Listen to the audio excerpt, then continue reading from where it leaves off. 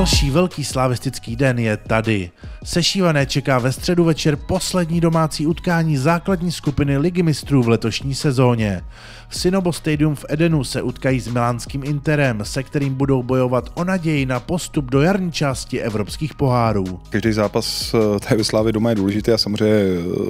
eh, i ohledně Champions League pro nás je možná trošku výjimečný tím, že je to poslední utkání v té základní skupině a my jsme ještě doma eh, nejenom nevyhráli, neudělali bod, takže to je pro nás je to strašně moc důležitý, protože tady vždycky bylo vyprodáno, lidi se na to těší, na ten zápas byla skvělá atmosféra a nám se podařilo ty dobrý, dobrý nebo bodový zisky přivést těch venkovních zápasů, takže to je to největší moto na zítra eh, je prostě, prostě bodovat a, a vyhrát a máme na to třetí pokus a, a takže důležitý zápas je to určitě, protože, protože prostě chceme eh, ten zápas vyhrát, aby jsme za měli eh, velkou šanci pokračovat na jaře vlastně v Evropě a, a hlavně to, aby nás taky hm, lidi a fanoušci prostě viděli vyhrát zápas v Lize mistrů. Víme, o co hrajeme, chceme každopádně uspět, protože když by se nám podařilo vyhrát nad Interem doma, tak, tak víme, že jdeme předně a a můžeme ještě bojovat třeba i o to druhé místo, ale my, my se soustředíme právě na tenhle ten zápas, protože kdybychom ho zvládli výsledkové a a bodově, tak, eh, tak bychom chtěli z toho třetího místa. V prvním utkání proti italskému velkoklubu hraném na slavném San Siru vybojovali sešívaní bod za remízu 1-1 a až do samotného konce zápasu sahali po třech bodech.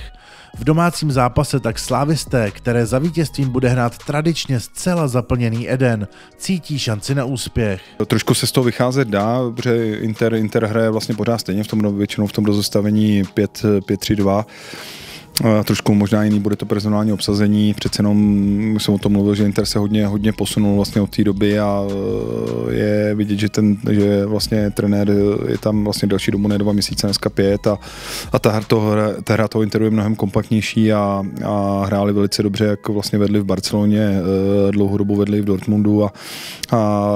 pak se jim ty zápasy otočily, ale vlastně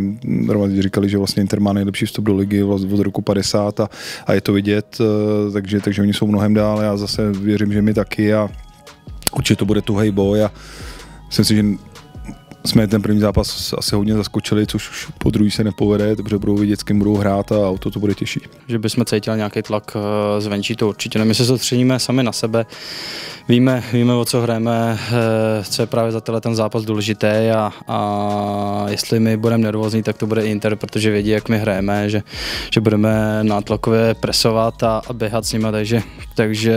myslím si, že to bude 50 na 50 a, a hrajeme doma a, a věřím tomu, že fanoušci nás poženou dopředu. Interu Milán se před začátkem letošní sezóny ujal slavný trenér a bývalý kouč Chelsea či Juventusu Antonio Conte. Mužstvo pod jeho vedením hledalo na začátku podzimu svou herní tvář. Poslední dobou ale předvádí Inter skvělé výkony. V tabulce série A okupuje už druhou příčku. O víkendu zvítězil v Turíně jasně 3-0 a v Lize od posledního zápasu se Sláví prohrál jen jedinkrát. Oni jsou takový vyspělejší do té defenzivy, daleko, znovu říkám, kompaktnější, hlavně v pressingu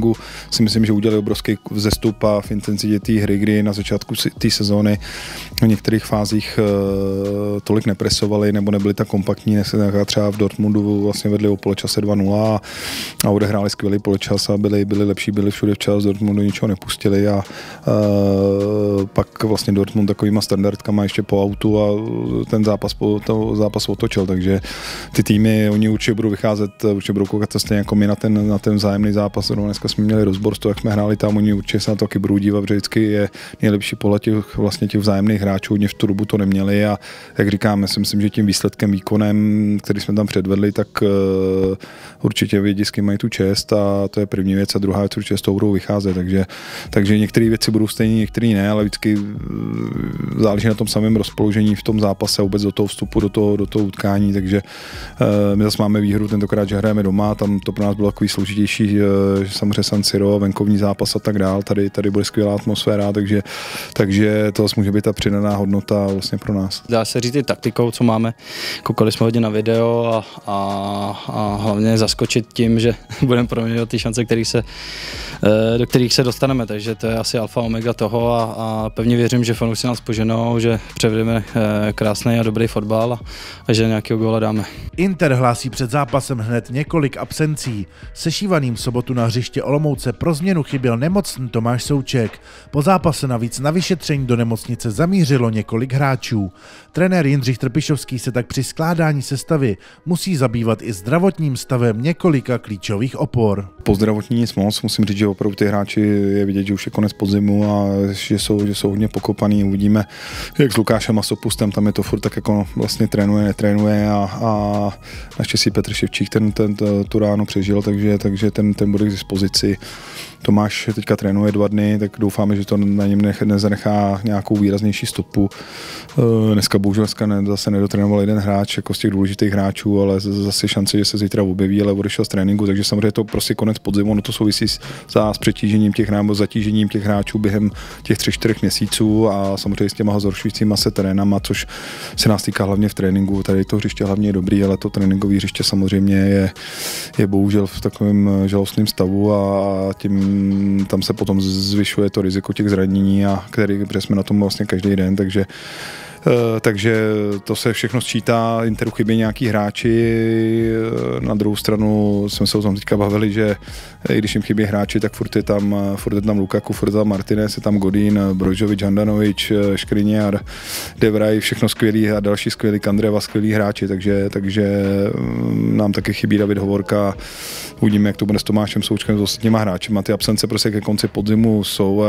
je vidět, jak ten fotbal je prostě náročný, protože samozřejmě taky Interu teď každý zápas vypadává nějaký hráč. Je to náročný, ale tak uh, proto to děláme tuhle tu práci a, a, a hlavně když, když se vyhrává a postupuje se a hraje se, hraje se skupina ligy mistrů, tak uh, ta únava jde prostě stranou a, a nemyslím si, že bychom byli jenom my unavení, jsou i soupeři, takže jenom, že třeba mají o, o pár zápasů méně, tak ale na to se vůbec nekoukáme. My máme dobrou regeneraci, dobrý maséry, dobrý fyzioterapeuty, takže myslím si, že tohle vůbec nehraje roli. My se soustředíme sami na sebe a, a doufíme, že to zítra zvládneme. Znělku ligy mistrů v Edenu uslyšíme opět ve středu ve 21 hodin. Zápas je vyprodaný a nabídne skvělou fanouškovskou kulisu. Prosíme tak všichni, aby přišli pokud možno s předstihem a nenechávali vstup na stadion na poslední chvíli. Pokud zápas nebudete sledovat přímo na stadionu, naladit si můžete přímý přenos na O2 TV Sport, komentář na rádiu Slávia a nezapomeňte sledovat také naše oficiální profily na sociálních sítích.